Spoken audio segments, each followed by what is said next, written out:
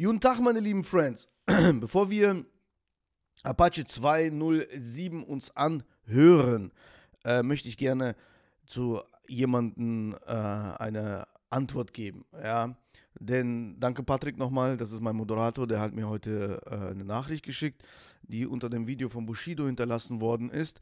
Und ich muss zugeben, ich schaffe wirklich nicht alles mittlerweile. Also das heißt, ich schaffe nicht alle Nachrichten zu lesen, weil, wohl Moment, das erkläre ich gleich, ja, warum das so ist. Ähm, und deswegen habe ich Patrick da, der sich so ein bisschen drum kümmert und gewisse Nachrichten an mich rübersendet. Denn eine Person, Mystica90, hat so ein bisschen sein, ich würde sagen, Frust hinterlassen, was ich auch auf jeden Fall mal verstehen kann. Es ging nämlich darum, dass ich ähm, eine gewisse Zeile einfach nicht zurückgeben konnte und wahrscheinlich hatte ich das so ein bisschen aufgeregt. Mich. Beschützen euch vor mir. Also, man beschützt mich nicht vor. Alter. Das ist gerade mega peinlich. Ich glaube, ich schneide das raus. Ich möchte mich dazu äußern. Zuallererst, ich nehme keine Drogen. Also ich nehme wirklich gar keine Drogen. Ja, ähm, wenn ich mal eine Shisha in der Woche mal schaffe zu rauchen, ist das Einzige, was an den Drogeninhalt so, ja, was die eine Droge ist, sage ich mal. So, das nächste ist, ähm, ich habe eine eigene Firma und ich arbeite mit einer Firma zusammen und ich habe YouTube. Und solche Videos wie zum Beispiel gestern auch mit Bushido, das entsteht meistens dann, wenn ich von der Arbeit komme und mich hinsetze und mich mit, erstmal mit Hip-Hop beschäftige und dann mir die Videos anschaue. Und das ist echt schwer. Ich muss wirklich sagen, es ist echt schwer und sehr belastend. Wir alle sind Menschen, wir machen alle Fehler. Jeder von uns. Es gibt keinen, der perfekt ist.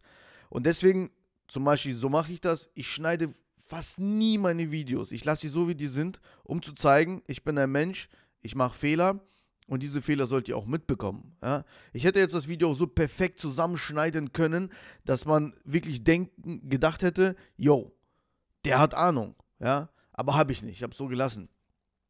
Und äh, das ist zum Beispiel für mich wichtig. Und ich muss sagen, wenn ich so wie ich, zum Beispiel gestern, ich habe 15 Stunden gearbeitet, ja, ich acker gerade so viel, dass ich meine Familie entlasten kann und meiner Familie etwas bieten kann, wovon ich schon Ewigkeiten träume einfach, ja, damit einfach keine Probleme mehr da sind.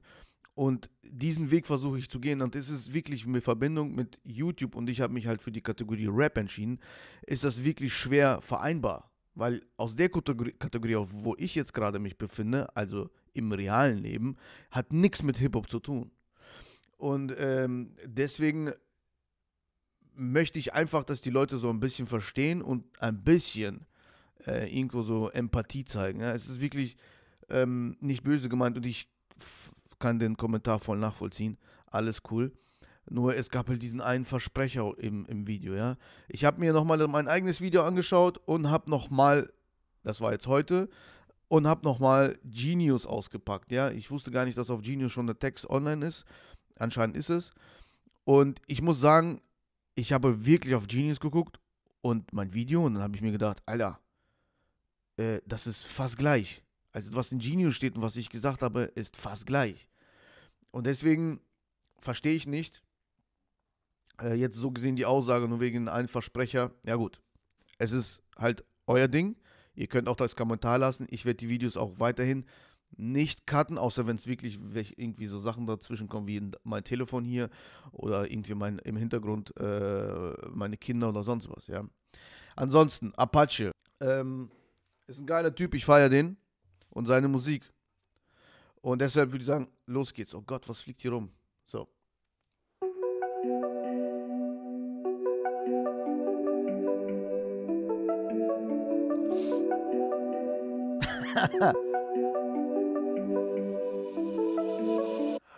Genauso wie hier zum Beispiel, jetzt habe ich jetzt gestoppt, möchte ich auch was mich da also ich möchte mich auch dazu äußern, das Stoppen ist leider auf meinem Kanal normal. Ich habe keine Verträge wie zum Beispiel Too Bout oder Abkommen wie Too Bout oder wie der auch immer heißt, mit gewissen Labels oder gewissen Netzwerken, die ihn so freisprechen von, von, von, äh, ähm, von, äh, von diesen ganzen Richtlinien. Ja, also der, der ist quasi auf Whitelist. Ich habe leider keine Verträge mit solchen Netzwerken, wo ich auf Whitelist bin. Das heißt, deswegen muss ich so oft stoppen. Ja. Das ist halt so. Sonst werden die Videos halt gesperrt. Also tut es mir schon mal leid. 14 Uhr, ich wach auf. Hotelzimmer, das ruft mich an. Oh Bruder, bitte komm raus. Yeah. Session, Session, du musst representen. Neben mir liegt eine Frau. Ich muss jetzt. Das ist natürlich immer geil bei, bei, bei Apache. Was, ich finde das wi- wirklich mega geil. Immer dieser Beat und wie der so float. Ja? Vielleicht kennt ihr das, das erinnert mich so ein bisschen an die 90er. Vielleicht kennt ihr solche Lieder wie Call me Mr. Wayne, Go, wie das meint. Call me Mr. Mr. Wayne, Call me Mr. Wow oder irgendwie sowas, ja? Das waren so diese 90er.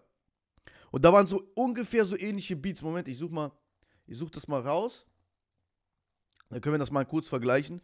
So, ich fühle das halt einfach so, ja? Call me, call me Mr. Wayne, genau, call me Mr. Wayne. Und jetzt, wenn man so ein bisschen den Beat mal hört, der ist natürlich nicht identisch, nicht 100%, aber so diesen Rhythmus, der da ist und wie er so da drauf rappt, dann denkt man so, Alter, da kommt mir bekannt vor, habe ich doch früher in der Disco so gefeiert. So ungefähr. Session, Session, du musst representen. Neben mir liegt eine Frau. Ich muss jetzt los und sie guckt mich an. Oh, guck nicht so, ich weiß auch. Abgefuckt, du musst. Äh, komm her, du kleine Kach. So, und jetzt dieser Beat und so ungefähr dieser Beat, ja?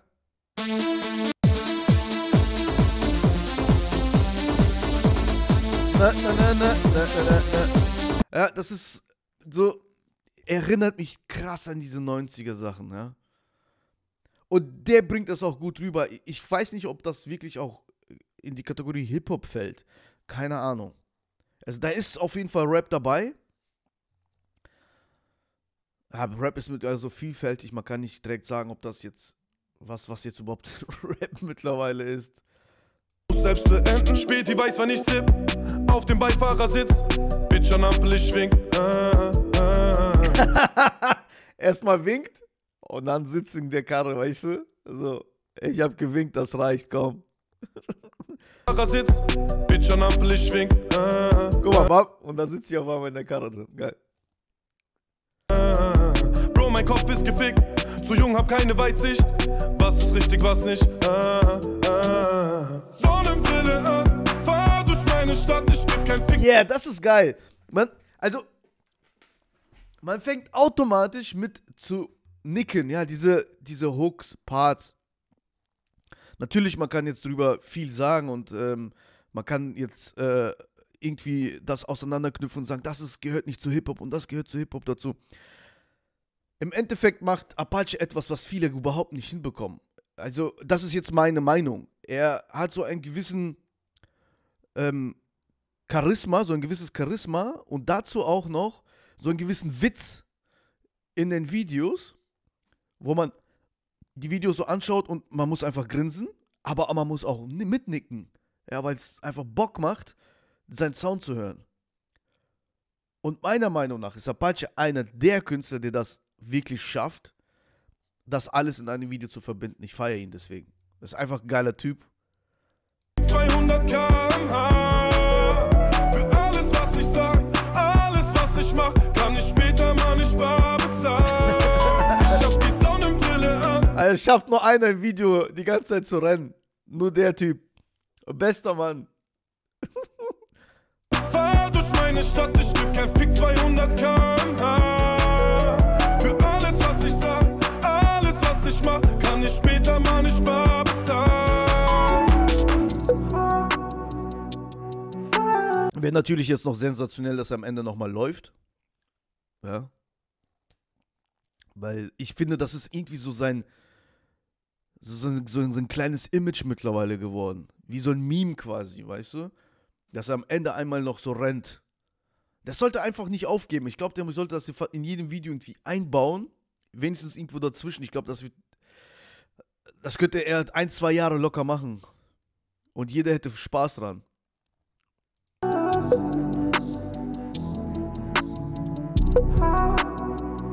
Yeah. Yeah. 4 Uhr morgens, ich rauch. Zu viel Gedanken muss mich ablenken. Baby, wieso bist du auf? Muss hustlen, keiner wird mir was schenken. Baby, es liegt nicht an dir. Arbeit, Arbeit, kein Schlaf, wenig. Alter. I- Also, man, wirklich sehr schwer, seine Musik auszudrücken. Die ist wirklich gut.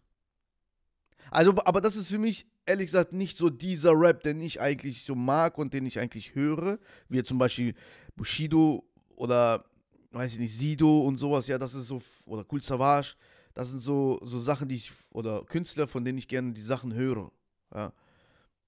Aber nichtsdestotrotz ist, hat irgendwas Apache, dass ich angefangen, hab, angefangen habe, ihn zu lieben, einfach. Aus was für eine Art auch immer. Ich weiß nicht, aber ich fühle einfach seine Mucke. Ich fühle das, was er macht. Boah, wie soll man etwas interpretieren, was man im Herzen hat? Ich, das ist so schwer. Zeit, sie bleibt dennoch bei mir. Ich denke mal, sie muss taub und blind sein. 100 Kilo, halbe Mio, schwerer Junge, Narben im Gesicht, denn vieles lief nicht wie es sollte. Jetzt wendet sich das Blatt, heute yeah. haben meine Schuhe denselben Preis. Alter, was für Schuhe? Oh Mann.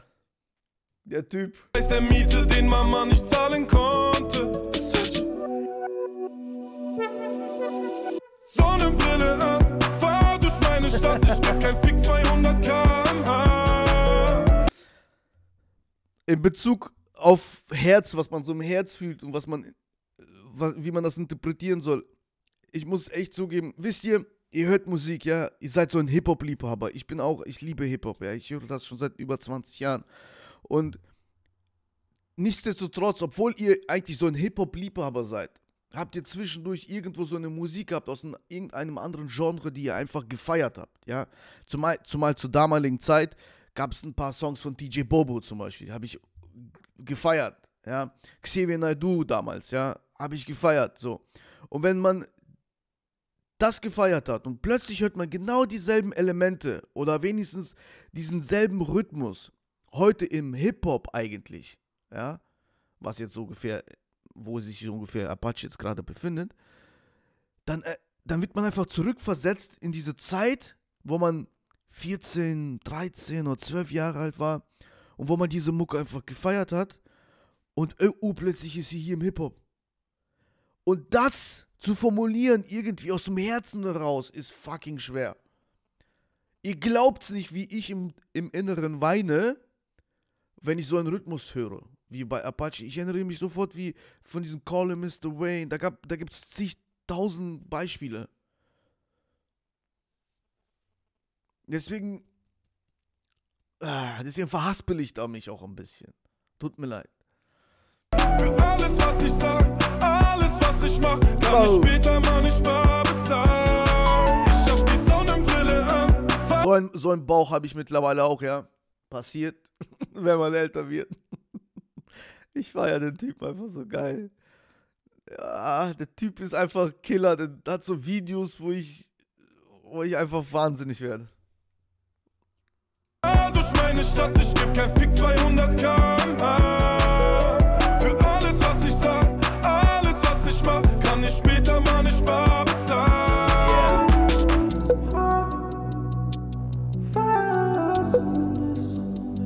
Okay, das ist gut gemacht. Obwohl, sowas habe ich auch gemacht. Eigentlich sitzt hier eine Person, hier sitzt er, aber gut, hier ist der Verkehr noch im Hintergrund. Also das zu cutten so ist. Ja.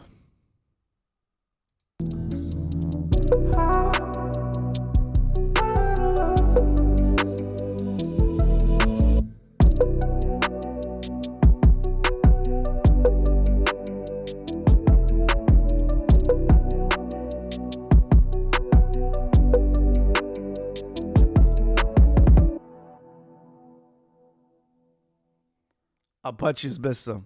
Apache ist einfach geil. Ist eine, ist eine Maschine, verdammt normal.